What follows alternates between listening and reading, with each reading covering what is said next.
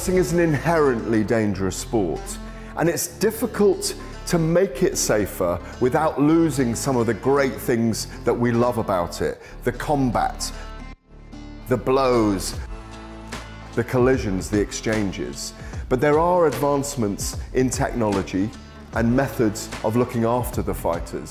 And we've been talking to the fighters and our partners at Protect to look at how the future of boxing could be and what it might look like. Where do you see the advancements and evolution in boxing coming from to protect fighters? I think technology and understand that data that we get from it is, is massive in terms of helping the, the welfare of fighters. We've done quite a lot of work in boxing and by understanding what these fighters do in competition and in training really informs how they recover and also how you prepare for a fight. I think there are advances all the time. Sports science like all sciences, whether it's medical science, chemical science, whatever, it's moving every single day and there are advances being made.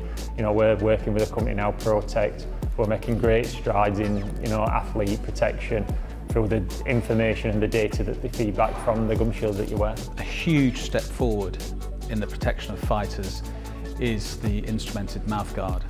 The Protect mouthguard we are using in boxing and it is giving us some amazing results which will help the ringside doctors diagnose uh, any brain injury, any concussion and help treat that concussion after the fight.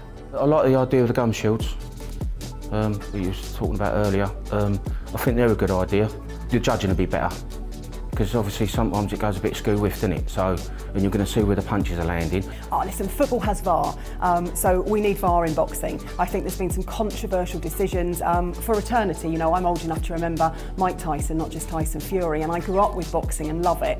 But there's always been some controversial decisions. But technology has moved on so much now, it's almost unforgivable. It's not in the boxing world. To be able to identify at the end of the fight, you know, uh, how, how hard you've, you've been hit and how many times.